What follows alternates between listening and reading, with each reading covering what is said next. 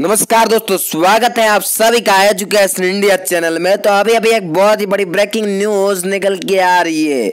जी हाँ दोस्तों, किसान सम्मान निधि योजना को लेकर आ रही है ये बहुत बड़ी न्यूज़ जिसमें आपको बता दें, किसानों के खाते से दो हज़ार रुपए निकल रहे हैं। तो कैसे निकल रहे हैं, कौन निकाल रहे हैं, ये पूरी जानकारी इस वीडियो में मिलने वाली है। लेकिन उससे पहले अभी तक आपने इस चैनल को सब्सक्राइब नहीं किया है तो नीचे दिख रहे लाल बटन पर जल्दी से क्लिक कर दीजिए।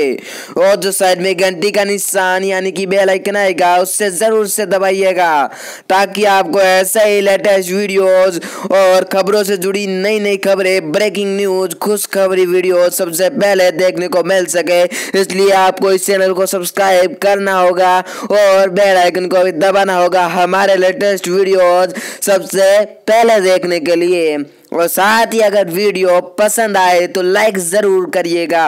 और अपने दोस्तों के साथ, अपने किसान भाइयों के साथ शेयर ज़रूर करिएगा। कहीं वो भी इस कैटेगरी में तो नहीं आते हैं। कहीं उनके खाते से भी तो रुपए नहीं निकले। वो भी चेक तो कर ले। इसलिए दोस्तों, वीडियो को लास्ट तक देखते रहिएगा पूरी जानकारी पाने के लिए। तो चलिए वीडियो में बैठते हैं आगे और बताते हैं पूरी न्यूज़ क्या है।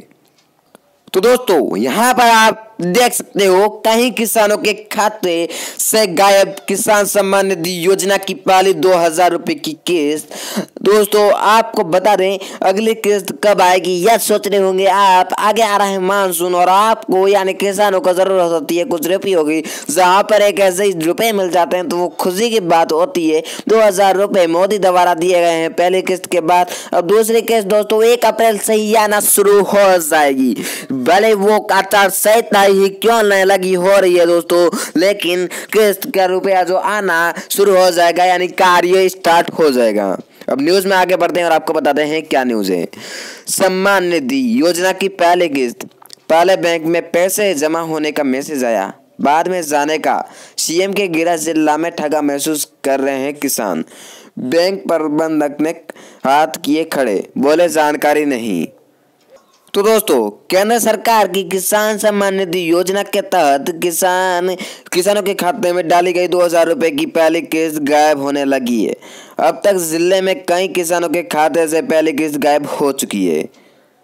और दोस्तों, यहाँ पर बता दें तो बैंक प्रबंधन भी इस बदे मज़ाक करार देते हुए जब किसान बैंकों में इसके बारे में जानकारी लेने पहुँचे तो बैंक प्रबंधन भी इसके लिए दोस्तों कोई भी आंसर नहीं दे पाए। कोई भी उन्होंने नहीं दिया है उत्तर, वो कोई भी संतोषजनक आंसर नहीं दे पाए। जिससे कि आप एक किसान सेटिस्फाइड हो सके, संतुष्ट हो सके कि यहाँ पर हमें उत्तर मिल गया है, किस लिए पैसे नहीं आए।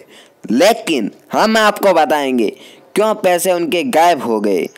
क्यों उनके बैंक खाते से वापिस पैसे ले लिए गए? इसलिए दोस्तों, वीडियो को लास्ट तक देखते रहिएगा। वीडियो में आगे बढ़ते हैं और न्यूज़ बता रहे हैं पूरी क्या है। तो दोस्तों, जैसा कि यहाँ पर देख सकते हो, पैसों का खाते में आना और बाद में अपने आप ही राशि का गायब हो जाना किसानों की समझ से बाहर है। उधर इस बारे में उपायुक्त मंत्री ने कहा कि इसकी जाँच करेंगे। अगर ऐसा हो रहा है तो इसका उचित समाधान किया जाएगा। फ़र्स्ट केस, मंडी की नस्लों पंचायत के किसान गोपाल ने बताया कि उनके खाते में चौबीस फरवरी को दो हज़ार की राशि आई और पाँच मार्च को यह राशि गायब हो गई। किसान ने जब इसके बारे में अपने बैंक में पता करा, करना चाहा तो बैंक प्रबंधन ने उन्हें इसका जवाब नहीं दिया। उनकी मतलब उन्हें इसका जवाब नहीं मिल पाया। बैंक प्रबंधन ने जो जवाब दिया, उनसे उनको संतुष्टि नहीं हुई। किसान ने बताया कि उन्हें कहा गया कि वह अपने स्तर पर इस बात का पता करे। उन्होंने कहा कि अब उन्हें समझ नहीं आ रहा है, इस बात का पता कैसे किया जाए। इस प्रकार से बहुत सारे दोस्तों केस देखने को मिले। और ये केस क्यों हो रहे अब आपको बता दूँ। सबसे पहले आप यह पक्का कर लीजिए कि आपके घर में कोई जिसके पास नौकरी तो नहीं है, अगर नौकरी है दोस्तों तो उसकी इनकम देख लीजिए। इनकम अगर उसकी जा रही है दोस्तों की इनकम अगर है आपके पास आपकी इनकम मान लीजिए कि जा रही है, जो इनकम टैक्स का दायरा होता है दोस्तों इनकम टैक्स का दायरा, उससे अगर ज़्यादा आ रही है, यानी प्लस ढाई लाख ढाई लाख से अगर ज़्यादा आ रही है दोस्तों आपका रुपया तो इसका मतलब आप उस दायरे में नहीं आते पहला ये केस हो गया। अब दूसरा केस तो आपको बता दें। दूसरा केस क्या हो गया दोस्तों? अगर आप, दोस्तों उन किसानों में से है जिनके पास दो हेक्टेयर से ज़्यादा ज़मीन। है यानी कि अगर किसान सम्मान निधि में वही किसान आता है, जिसके पास माइनस दो हेक्टेयर का ज़मीन हो, दोस्तों, यानी दो हेक्टेयर से कम, दो हेक्टेयर से जिसके पास कम ज़मीन होती है, उसको ये फ़ायदा मिलता है, दोस्तों। उसके बाद अब बता दें, दो हेक्टेयर से जिनके पास ज़्यादा होती है, वो क्या कर सकते हैं? दो हेक्टेयर से जिनके पास ज़्यादा ज़मीन होती है, उनके खाते में उन्होंने किसी प्रकार से किया, कुछ कर दिया, जिससे उनके खाते में रुपये आ गए, और उनके खाते में आ गए तो अब उनके पास जो दो से ज़्यादा है ज़मीन। और दो से ज़्यादा ज़मीन होने के कारण, दो हेक्टेयर से ज़्यादा ज़मीन होने के कारण, उनको पैसे पहुँच तो गए। लेकिन अब क्या करेगी? सरकार वापस चेक करेगी। क्यों करेगी दोस्तों? क्योंकि इन्हें अपलोड करने हैं। जो अपलोड करने होंगे, उनके डाटा अपने ऑफिशियल वेबसाइट पर। Official website P M Kisan dot N I C dot in उस पर अपलोड करने होंगे। और अपलोड करने होंगे दोस्तों तो वो सारे डॉक्यूमेंट्स देखेंगे किसानों के वगैरह वगैरह वगैरह की। तो यहाँ पर जो भी डॉक्यूमेंट्स हैं, वहाँ पर डाउनलोड अपलोड किए जाएँगे। अपलोड जैसे ही दोस्तों करेंगे तो उनके पास सारी लिस्ट आ जाएगी, उसका नाम जो भी सारी डिटेल्स है वो आ जाएगी। अब डिटेल्स में दोस्तों क्या होता है कि सारी चीज़ें लिखी हुई थी, आपके पास ज़मीन कितनी है, आपकी इनकम कितनी है तो वहाँ पर आपके पास जो दोस्तों आधार कार्ड भी होगा, आपके डॉक्यूमेंट्स होंगे। डॉक्यूमेंट्स में सारा साफ़ साफ़ लिखा होगा कि इनके पास इतनी ज़मीन है। तो दोस्तों इतनी ज़मीन होने के बाद आपको वो कार्य नहीं मिल सकता। मान लीजिए आप एक किसान है, आपका बेटा किसी सरकारी नौकरी में या फिर आप एक किसान हैं, आपके पिताजी किसी सरकारी नौकरी में थे। उनको मिल रही है पेंशन और उनके नाम से है डॉक्यूमेंट। तो उनको क्या मिलेगी पेंशन? अगर मिल रही है तो आप जाते हो अमीर की गिनती में और इसी वजह से आपको पेंशन नहीं मिलेगी। ये तो हो गए दोस्तों बड़े बड़े कारण, कुछ छोटे कारण भी हो गए, जिसके कारण दोस्तों आपका हो जाता है।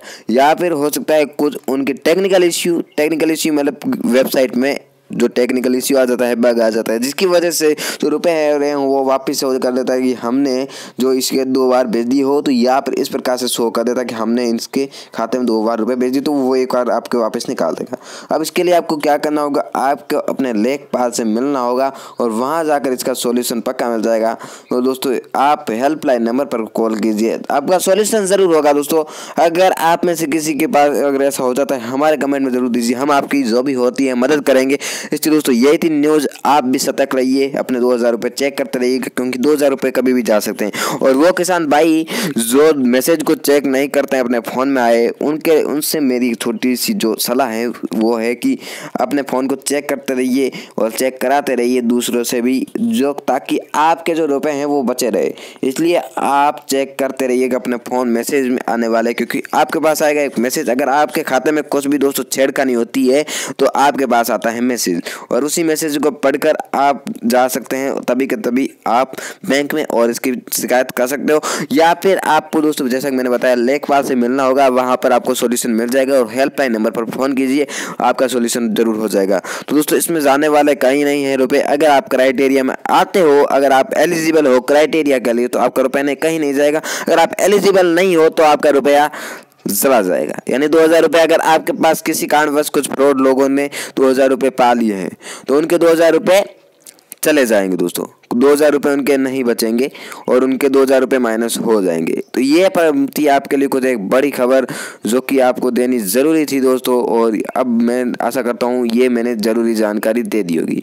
इसी के साथ दोस्तों, वीडियो को विराम देते हैं। तब अगले वीडियो के लिए बने रहिएगा हमारे साथ हर वक्त। चैनल को सब्सक्राइब करने के बाद बेल आइकन को दबा दीजिए ताकि ऐसे लेटेस्ट वीडियो और सबसे बड़ी जानकारी मिल जाए।